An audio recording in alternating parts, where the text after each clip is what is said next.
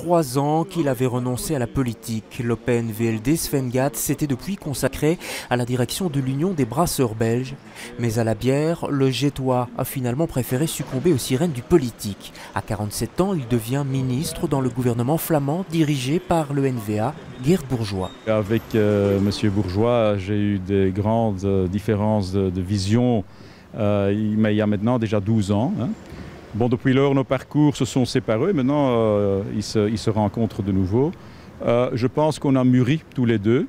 On sait qu'on n'est pas les mêmes. On n'est jamais les mêmes dans un gouvernement d'ailleurs. Et on va maintenant collaborer ensemble et on va, on va voir comment ça évolue. Dans ce gouvernement, NVA, OpenVLD et CDNV, Sven Gatz hérite de la culture, des médias, de la jeunesse, mais aussi des affaires bruxelloises, avec la question des marges de manœuvre pour défendre Bruxelles.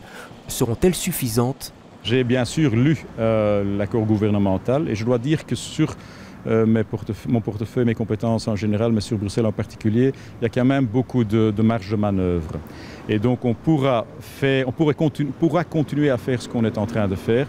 Euh, j'aurai d'ailleurs un axe très fort avec Guy Van Engel, qui est donc le président du collège de la VGC. Euh, et donc voilà, nous, nous, collaborons bien sûr aussi avec les autres, avec M. Smet, avec Mme de Batz et bien sûr avec les collègues NVA. Mais je peux vous rassurer, on va quand même travailler dans la continuité. L'optimisme et la confiance semblent donc de mise pour Sven Gatz, qui nous a confié qu'être ministre de la Culture était un vieux rêve. Non, c'était au Parlement même avant, je l'ai rencontré.